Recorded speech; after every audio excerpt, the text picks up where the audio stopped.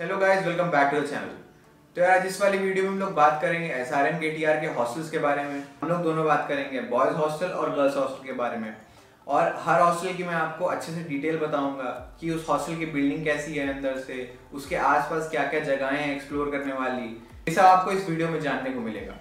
और अगर आपको हॉस्टल्स के अलावा कुछ और ऑप्शन चाहिए, जैसे कि अगर आपको हॉस्टल में नहीं रहना है और आपको कहीं बाहर रहना है कैंपस के तो वो सब मैं आपको ऑप्शंस बताऊँगा कि आपके पास कहाँ कहाँ क्या क्या जगहें हैं। तो यार उनकी सारी डिटेल्स कि आपका रेंट कितना पड़ेगा, आपको मेस की फ़ीस कितनी लगेगी, आपको हॉस्टल की हाउसिंग फ़ीस कितनी लगेगी, ये सब कुछ इस वीडियो में कवर होगा। तो यार अगर आप फ़र्स्ट ईयर की स्टूडेंट हो और S R M K T R में आ रहे हो तो यार ये वीडियो आपके लिए। वीडियो स्टार्ट करने से पहले मेरी आपसे एक छोटी सी रिक्वेस्ट है। हमारे 90 परसेंट व्यूअर्स ने हमारा चैनल सब्सक्राइब नहीं किया है। तो अगर आप चाहते हैं कि हम ऐसी इंफॉर्मेटिव वीडियोस फ्यूचर में लाते रहें और अच्छी कम्युनिटी ग्रो करें यूट्यूब पे। तो यार चैनल को सब्सक्राइब करें और बेल आइकन को प्रेस करें।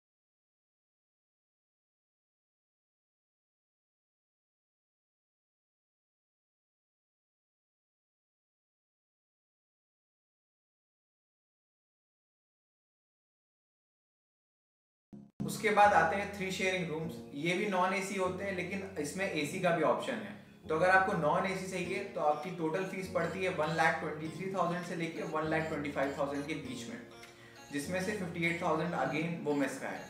और यार, अगर आपको थ्री शेयरिंग एसी के साथ चाहिए तो आपकी वही फ़ीस बढ़ के हो जाती है टू लाख एटीन थाउज़ेंड जिसमें कि fifty eight thousand mess fee और बाकी बची हाउसिंग फ़ीस है।